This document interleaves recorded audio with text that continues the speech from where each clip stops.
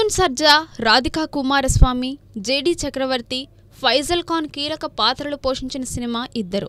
DS Reddy సమర్పణలో ఫర్హీన్ ఫాతిమా నిర్మించిన ఈ సినిమాను ఎస్ఎస్ సమీర్ డైరెక్ట్ చేశారు. సోమవారం హైదరాబాద్లో జరిగిన ప్రీ రిలీజ్ ఈవెంట్కు ముషీరాబాద్ ఎమ్మెల్యే ముఠా గోపాల్ ముఖ్య అతిథిగా హాజరై మూవీ సక్సెస్ కావాలని ఆకాంక్షించారు.